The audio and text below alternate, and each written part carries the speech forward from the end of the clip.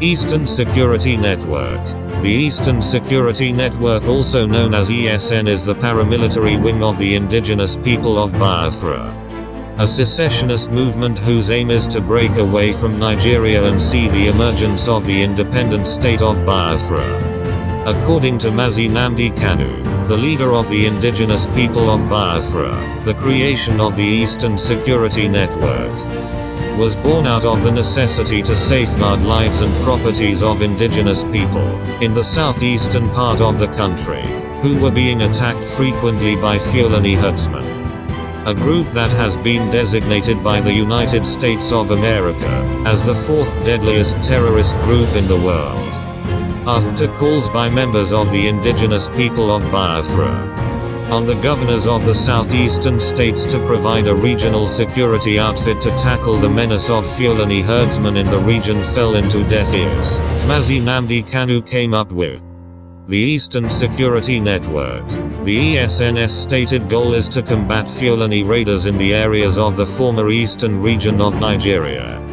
The ESN was founded by Mazi Nnamdi Kanu, leader of the indigenous people of Biafra on the 12th of December 2020 and commenced operations almost immediately following his proclamation of its creation in a broadcast.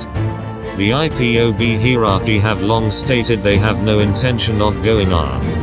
If push comes to shove, will you go to war?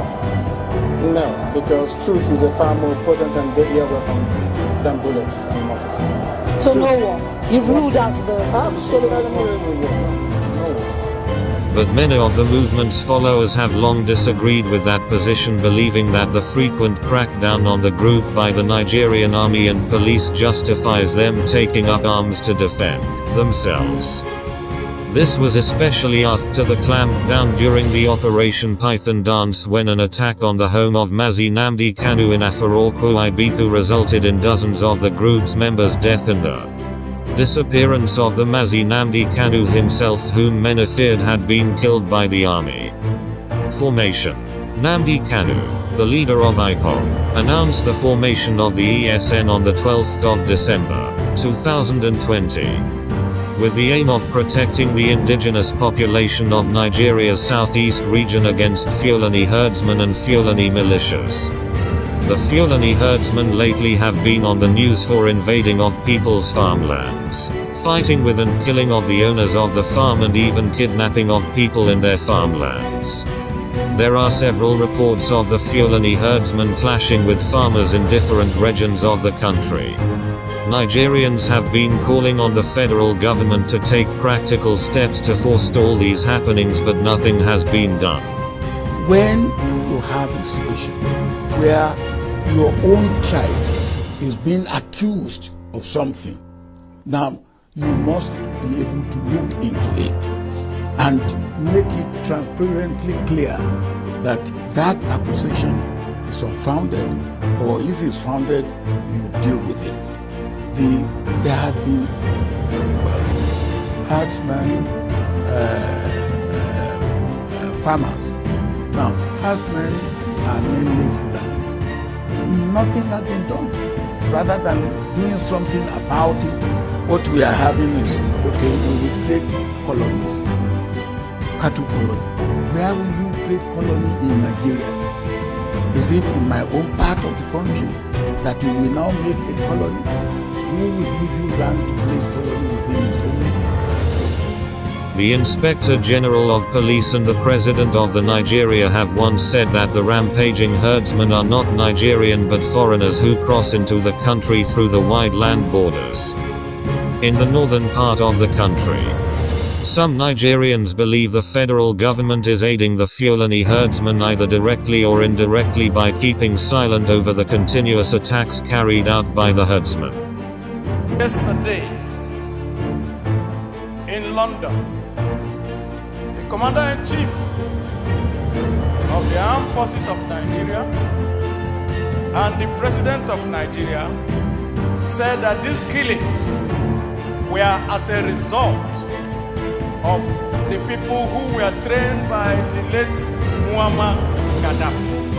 And so, implied that these people who are doing these killings in Nigeria are invaders from outside of Nigeria. And if, they, if he says that they are invaders from outside of Nigeria, what it means is that it now validates my last point on this floor. When a commander-in-chief says that he cannot take care of invaders invading Nigeria, why is he still a commander-in-chief?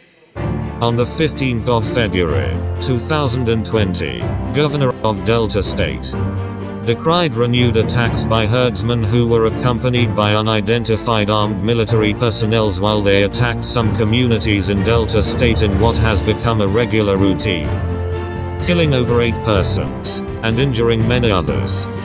These were some of the reasons pointed by Mazi Nnamdi Kanu on why it has become necessary for him to float the regional security outfit, ESN.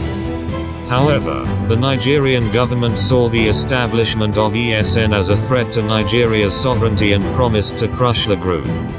The Eastern Security Network issued a 20. Mazi Nnamdi Kanu, leader of the indigenous people of Biafra, gave the governors of southeast Nigeria 14 days to ban open grazing, threatening to deploy the ESN to enforce the ban if the authorities did not do so. In less than two weeks, some of the governors responded by banning open grazing.